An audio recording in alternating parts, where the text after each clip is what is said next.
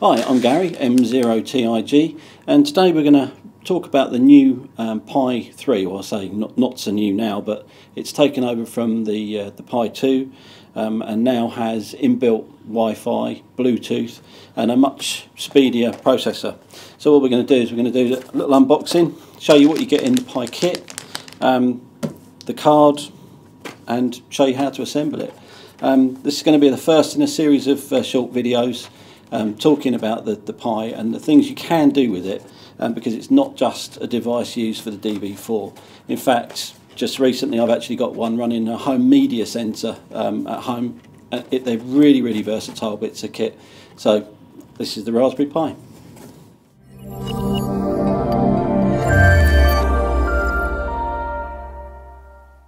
Okay, okay, right, so first of all we're going to unbox the, the actual Pi itself and it comes in a, in a, a neat snazzy red box, silver bag, and obviously the, the Pi itself.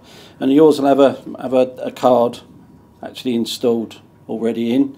Um, and that's actually got an, an image um, that we flash to it for you to make it really simple. Um, it, it will almost work straight out of the box. All you need to do is discover the IP address, um, use Windows Remote Desktop to actually connect to it, headless, um, put in your details, sign onto your Wi-Fi network if you want to, and away you go. So first of all, you've got the, the Raspberry Pi. Put that to one side. And then of course in the, in the white box you've actually got a power supply. And this is a, a Raspberry Pi branded power supply. Comes with the, um, the Euro adapter should you need it um, and inside the, the box itself you've got the, the Pi, the Pi branded um, power supply and a nice long cord um, ready to roll. Um, obviously the, you, you're getting a, a 16 gigabyte card in there, it's a, it's a verbatim so it's good quality card um, and it's class 10 as well so it's super fast. Those bits. And obviously the case itself. Um, and this is actually a new style case. It's uh, not like the, the flat wafer one we used before. Um, we've actually chosen this one because it has like a flap door. Some people were using a TFT screen. So we'll, we'll show you a bit more about that. Okay, so first of all we'll start with unwrapping the case. And it's simply a case of uh, ripping the bag and opening it. So simply a case. Right, there you go, just put it apart. Okay, and inside you've got lots and lots of bits of plastic. Okay, and the first thing you're going to want to do is peel all the plastic off of the off of the face. If you can see that bit's very very swish. That's actually the lid that one I think. No, it's not. It's actually the bottom. Okay, these are the sides.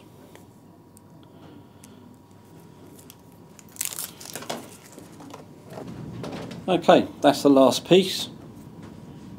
Then what you're going to do is grab all the pieces. That's the, the door, the top door. Um, these are the two end pieces.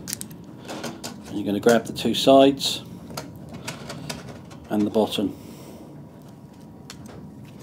Okay, you'll see there's actually two lumps on, on there. That's actually the bottom side of the of the actual Pi box. They're the actual feet. And what you're going to do is you're going to take the Pi itself and how I normally do this is just offer those those two things up so you can actually see the see how the Pi is going to go together and then you take your your end piece and then you can locate it just on the end like so you can actually see how it's going to go. So you're going to take a side and there he is there the one with all the little cutouts on it for the bits and pieces first. And what you do it's a bit fiddly this. I'll give you that. Okay and then what you do is you then take your other side there hook it on the top first and then that whole lot then just hinges down okay? And you've got like a little first bit is very fiddly. But you've actually got a very small like latch there which you push up and the whole thing then just clicks in okay? And then take the the other side okay? And locate that on the two pegs. Go. Okay try and hook the top on first okay and then push the two latches up. It is quite fiddly. There you go. And then that, that whole end is on. Okay at this point take the door. And you'll notice it's got some cutouts. That's obviously to allow the cable from the from the GPO pin um, to actually come through. So that goes on that side just drops in there and that just shuts shuts down.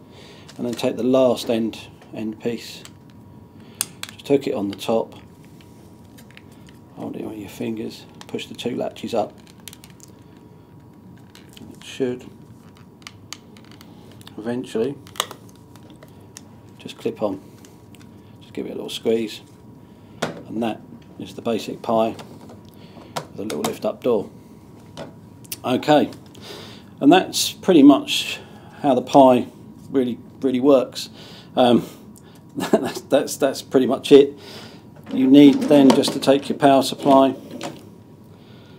plugs in in the side just plug it in, switch it on, and, and away you go. Initially, you're going to need to connect this to your, your router via an Ethernet cable, um, and then you're going to need to use sort of something like a, um, an IP search um, program just to find the, um, the IP address of the Pi itself.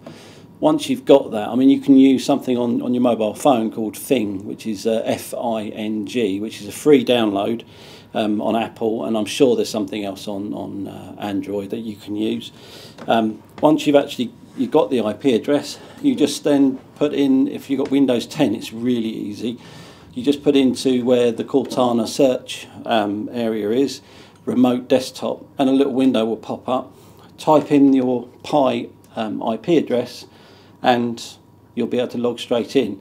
Now we're using the default passwords, which is um, all lowercase, which is pi, and then the password is going to be raspberry, okay, and that's you off and running.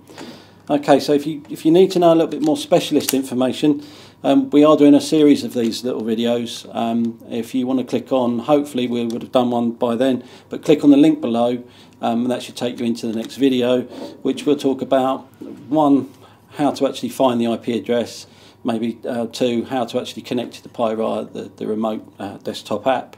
And then uh, maybe in the third video we'll, we'll go on to a little more advanced things like say for instance the, the media player.